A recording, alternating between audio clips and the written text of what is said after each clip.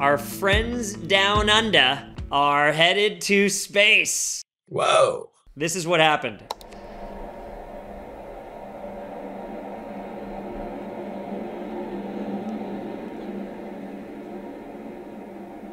Oh Uh-oh. no. Oh, no. no. Oh, we got another angle.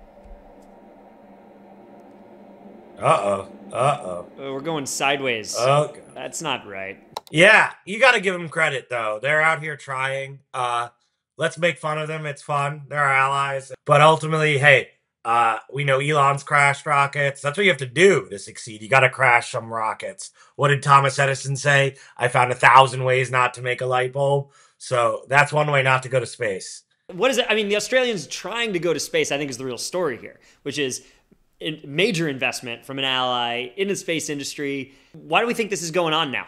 I mean, the world is changing, right? First of all, like the importance of satellites and the power that satellites that I think Elon, that SpaceX, that you know Starlink has demonstrated, uh, makes it an imperative for a country that wants to have sovereignty on its own to have a space program. He's uh, Elon was upset last week. I don't know if you saw that about too many companies trying to go to space. Well, I'm an abundance guy on space. Let's send them all to space. We'll meet up there and have a party.